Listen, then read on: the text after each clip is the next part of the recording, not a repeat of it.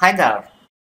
In this video I'll show you how you can repair or even fix corrupted Photoshop files on your Mac OS with the help of a repair software.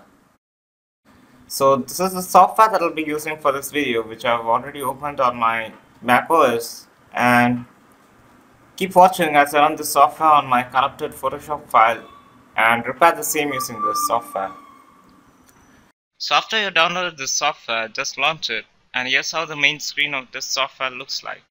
So all you find on the main screen is a browse button that lets you browse and select the PSD file that you're looking to repair.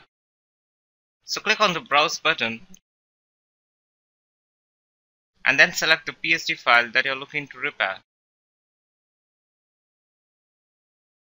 After the PSD file has been selected, click on the repair button the software now begins to repair the PSD file and on next screen you can click on preview to check if the PSD file has been repaired successfully.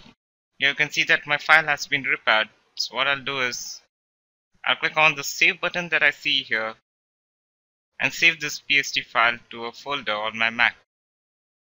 This is the default name given to the repaired file by this software and this is the folder on my desktop to which the repaired PSD file will be saved to.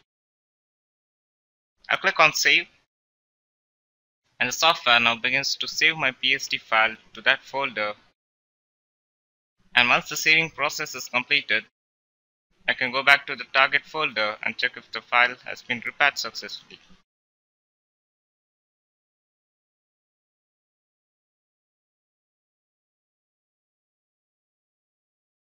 So here's the PSD file that was repaired successfully by this software. So this is how you repair corrupted or even damaged Photoshop files on your Mac using this software.